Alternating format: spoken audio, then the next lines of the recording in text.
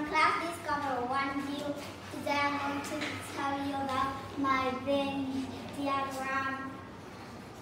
The Venn diagram shows the difference and the similarities about a living and a non-living thing. The living thing is a bird and non-living thing is a ball. First, I'm going to tell you about the differences between the bird and the ball.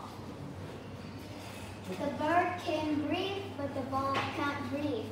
The bird breathes in oxygen and breathes out carbon dioxide. The bird can grow, but the ball can't grow. The bird can grow by eating food and drinking water. The third differences is the bird can move, but the ball can't move. The bird can move by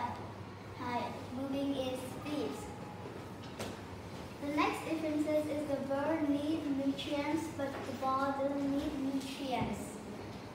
Bird needs nutrients, get nutrients by eating food and drinking water. The last differences is the bird can reproduce, but the ball can't reproduce. The bird reproduces by laying eggs.